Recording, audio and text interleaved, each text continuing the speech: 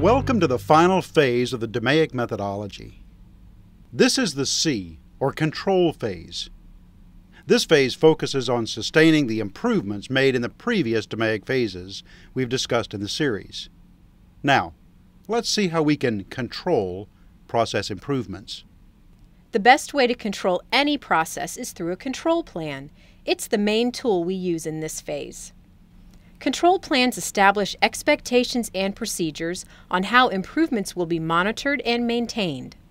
They help to reduce variation in the process and ensure consistent quality is delivered to the customer.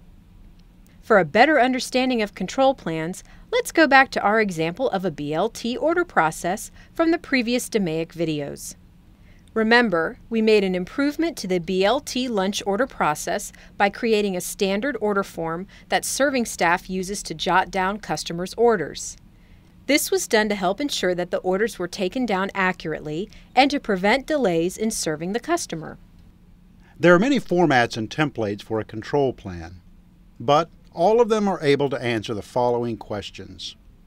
What is being monitored? And who will handle the monitoring? How will an error or defect be detected? How often is the activity being measured? When is action required? What action will be taken if expected results are out of target range? And who is responsible for taking action when measures do not meet targets?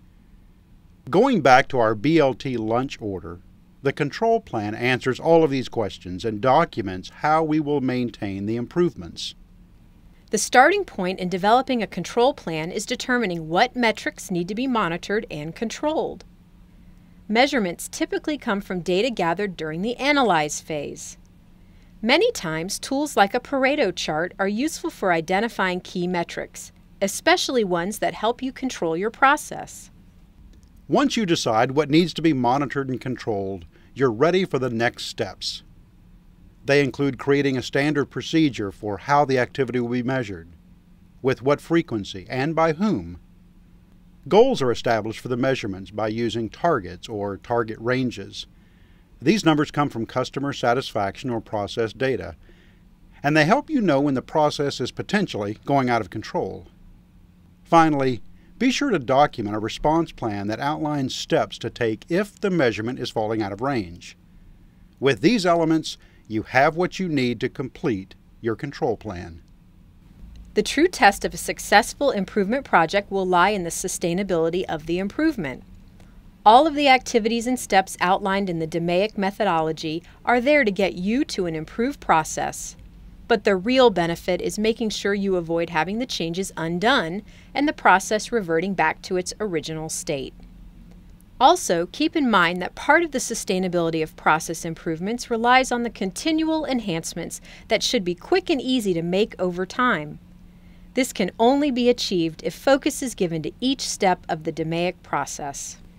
Remember, the Process Excellence team is available to answer any questions you may have about the DMAIC methodology or any improvement techniques.